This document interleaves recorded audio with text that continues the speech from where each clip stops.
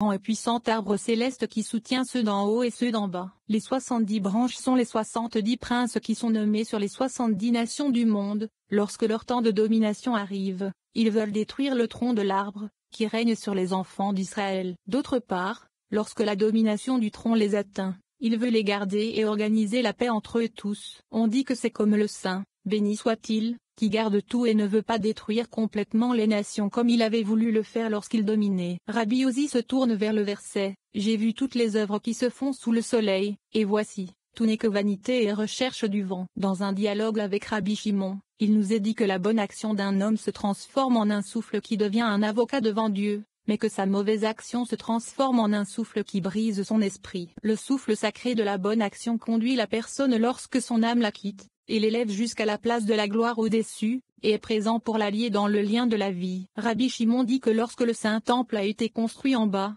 il était basé sur le jugement et la colère, mais dans les temps à venir, Dieu le perfectionnera à un niveau différent, plus élevé, appelé droiture.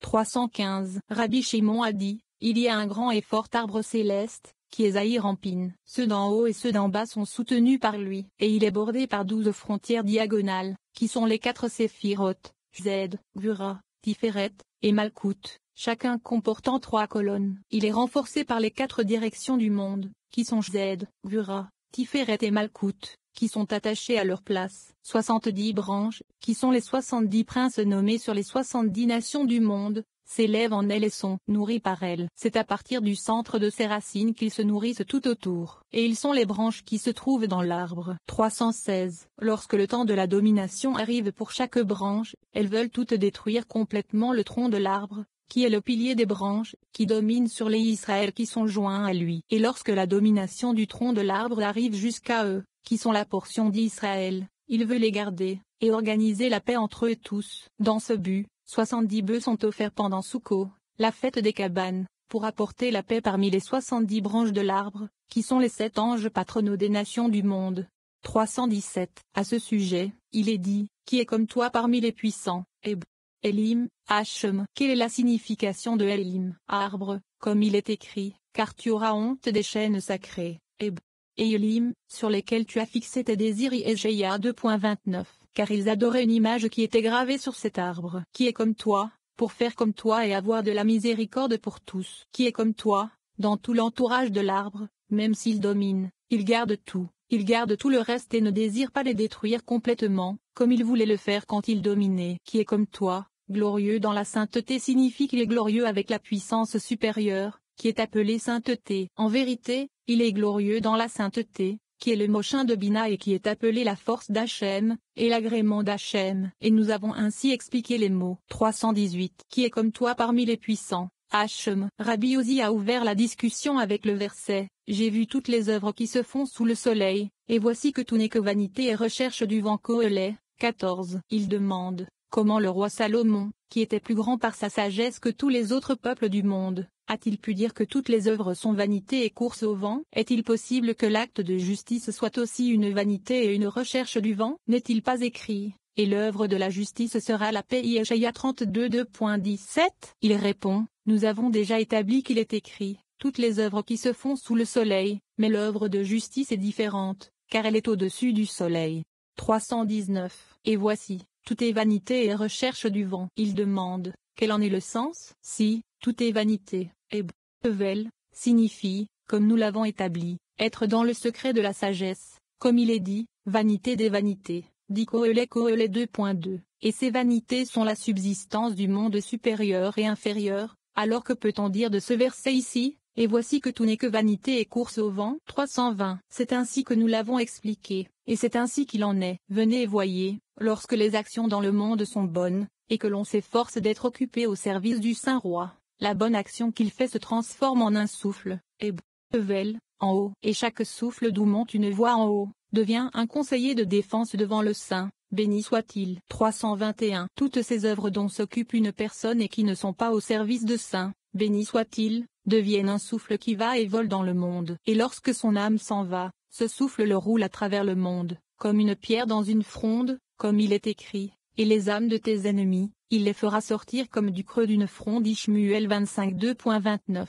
322. Il demande, quel est le sens de il fronde, et il répond, ce souffle le roule dans le monde. Alors toutes les choses qui sont faites et qui ne sont pas au service de saint, béni soit-il, se transforment en un souffle, qui est la rupture de l'esprit, car cela brise l'esprit qui monte et descend et roule dans le monde. C'est ce que l'on entend par la vanité et la recherche du vent. Aussi, L'esprit 323. Mais cette chose qui est au service de son maître s'élève à un niveau supérieur au soleil et devient un souffle sacré. C'est la semence que la personne sème dans ce monde. Et comment l'appelle-t-on? La justice, comme il est écrit. Semé pour vous par la justice osée 10h12. 324. Celle-ci conduit la personne lorsque son âme la quitte, l'élève dans le lieu de gloire d'en haut, et est présente pour l'allier dans le faisceau de la vie. C'est ce que l'on entend par et ta justice marchera devant toi Yeshaya 58 afin de te conduire et de t'élever jusqu'au lieu qui est appelé la gloire d'Hachem, qui est Malkout, comme il est écrit, la gloire d'Hachem sera ton arrière-garde ibidem.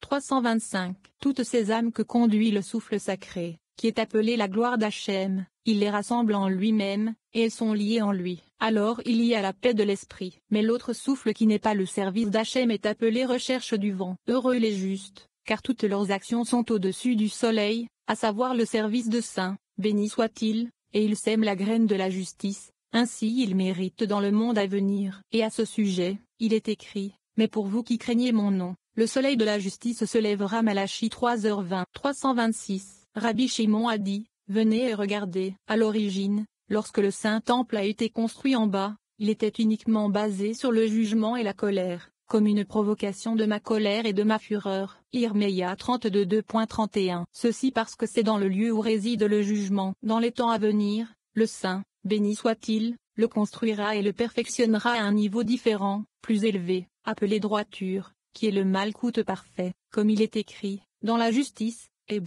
Sodaka, tu seras établi Yeshaya 54 2.14. Par conséquent, il perdurera et ne sera plus détruité, et son nom actuel sera appelé justice, et Tzedek. Comment le savons-nous? Il est écrit, et voici son nom par lequel il sera appelé, Hachem est notre justice, et Tzedek, Yirmeya 23 2.6. 25. Tu as étendu ta main droite la terre les a avalés. Les rabbins ont quelques difficultés avec le fait que Dieu a étendu sa main droite apparemment pour accomplir le jugement, pourtant la main droite est de Z. L'explication est qu'il a séparé la main droite pour que la main gauche accomplisse les actes de jugement. Il nous est dit qu'il a guidé les justes avec sa force et son bras vers sa sainte demeure. Rabbi Shimon parle de la dernière génération que Josué a circoncis et en qui il a révélé l'empreinte sainte du nom de Dieu. Toute personne circoncise et en qui l'empreinte sainte a été révélée est appelée juste. Rabbi Shimon nous rappelle qu'il n'y a pas de mots ou de lettres dans la Torah qui ne contiennent des secrets suprêmes.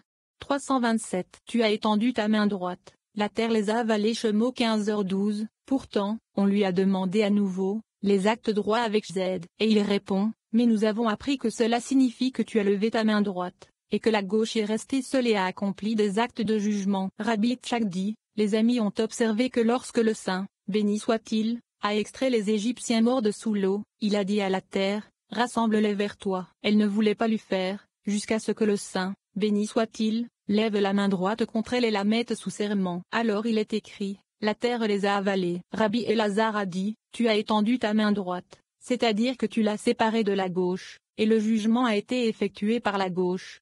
328. Dans ta miséricorde, tu as fait sortir le peuple que tu as racheté chez Mo 15, 13. C'est ce qui est écrit. Mets ta main droite, ton bras, et la lumière de ton visage, parce que tu les as accueillis favorablement. Teilim 44, 4. Mets ta main droite, se réfère à la grandeur, à savoir Z. Tu les as guidés dans ta force. Ce qui est signifié par ton bras, qui est.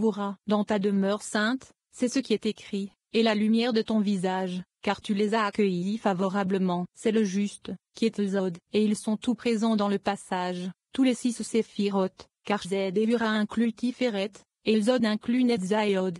329. La crainte, Eb, Emata, et l'effroi tomberont sur eux. Ils demandent, il est écrit Emata, mais il aurait fallu utiliser la forme plus courante, Emma. Pourquoi Emata? Il n'y a pas un seul mot ou lettre dans la Torah qui ne contienne pas de haut secret. Et si c'est le cas, quelle est la signification de Zeyanta? Aussi, la crainte d'elle Rabbi Shimon a dit, cela signifie la terreur de la Shechina. Et c'est comme la crainte de E, Eima E, qui est la Shechina. 330. De même, tu les feras entrer, Eb, Tovienmo, et tu les planteras, Eb, Titemo, dans la montagne de ton héritage. Il aurait fallu dire te vimetitem. Pourquoi te vienmo avec Vav. Il répond, le Saint-Esprit parle de la dernière génération que Josué a circoncise, et en qui il a révélé la sainte empreinte du nom du Saint, béni soit-il. Ils étaient liés au Vav, qui est Zahir et ils étaient dignes d'hériter de la terre, comme il est écrit, ton peuple aussi sera tout juste, il héritera du pays pour toujours Yéchéia 62.21 Car toute personne circoncise, en qui le marquage sacré a été révélé,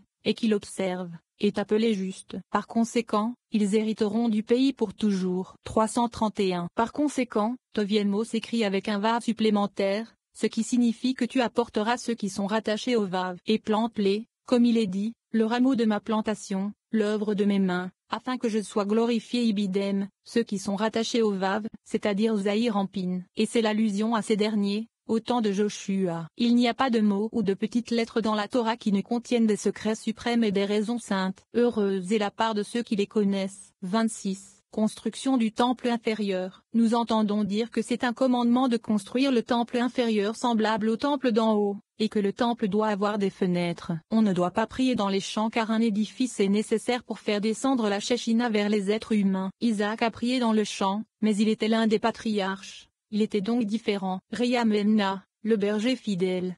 332. C'est un commandement de construire le temple inférieur semblable au temple d'en haut, comme il est écrit dans le lieu, Hachem, que tu as créé pour y habiter Shemo 15, 17, car il est nécessaire de construire un temple inférieur, d'y dire une prière chaque jour, et de servir le Saint, béni soit-il, car la prière est appelée service. 333. Il est nécessaire de construire cette synagogue particulière avec une grande beauté et de l'équiper de toutes les nécessités et améliorations, car la synagogue d'en bas correspond à la synagogue d'en haut. 334. Le temple d'en bas est semblable au temple d'en haut, car l'un correspond à l'autre. Toutes les améliorations et tous les services, tous les vases et les instruments accessoires de ce temple sont tous semblables à ceux d'en haut. Le tabernacle que Moïse a érigé dans le désert était un reflet similaire de celui d'en haut. 335. Le temple que le roi Salomon a construit est une maison de repos, semblable à celle qui précède dans toutes ses particularités, avec toute sa perfection céleste, achevée pour devenir la maison du repos et de l'héritage. De la même façon, une synagogue doit avoir tous les agréments de la beauté comme celle qui précède pour être une maison de prière, dans laquelle les corrections sont faites par la prière, comme cela a été expliqué. 336. Et ce temple doit avoir des fenêtres, comme il est écrit, et des fenêtres ouvertes Daniel 6h11, comme ci-dessus. De cela il est écrit, il regarde par les fenêtres, il regarde à travers le Treisher Ashurim de 2.9. Si vous demandez s'il est permis de prier dans le champ, parce qu'un esprit peut y monter, il n'en est rien, car il faut un édifice, et il n'y en a pas. Il est nécessaire d'établir un édifice en bas, semblable à celui d'en haut, qui est le Malkout, pour faire descendre l'habitant supérieur, qui est le Shechina, chez les habitants d'en bas, les êtres humains. 337. De même, cette prière et cet esprit doivent monter et sortir du détroit étroit en un chemin droit vers Jérusalem. Il est écrit à ce sujet, de ma détresse, lit, de l'étroitesse de l'étroitesse, j'ai invoqué Yatzilim 118 2.5, car il est nécessaire d'avoir un endroit étroit et resserré pour y jeter cet esprit, afin qu'il ne tourne ni à droite ni à gauche, mais dans un champ. La voix ne peut être projetée vers lui de cette manière. Il en est de même pour le son du chauffard qui est projeté vers l'extérieur d'une manière lisse et droite à partir d'un endroit étroit, et il va et fend les firmaments, et monte vers le haut pour stimuler l'esprit d'en haut. 338. Et on peut se demander, n'est-il pas écrit, et Isaac sortit pour méditer dans le champ, Bereshit 24 2.63. Nous voyons donc que la prière a lieu même dans les champs, et il répond, Isaac était différent, car il avait quelque chose d'autre que le reste du monde n'avait pas. Il était l'un des patriarches. Et aussi ce verset n'est pas venu dans ce but, pour permettre de prier dans le champ, car certainement, dans un autre champ, il n'aurait pas prié, car nous avons déjà expliqué que ce champ était le champ qu'Abraham a acheté. Fin de la Reya Memna. Rabbi Abba parle d'un chant qui est composé de 22 lettres saintes gravées et de 10 dictons, et qui est imprimé sur le saint nom. Rabbi Shimon dit que pendant que les enfants d'Israël se tenaient au bord de la mer et chantaient, Dieu leur apparut avec tous ses chariots et ses armées, chacun d'eux vit ce que les autres prophètes du monde n'ont pas vu. Tous ont chanté le même chant simultanément et en rythme, et l'Esprit Saint était dans leur bouche. Il est évident qu'ils ont tous perçu la sagesse céleste à ce moment-là. Lorsque le chant fut terminé, les enfants d'Israël ne voulurent pas partir à cause de leur grand désir de percevoir Dieu, jusqu'à ce que Moïse leur montre l'éclat radieux de la gloire du Saint, béni soit-il, dans l'enceinte de l'Église.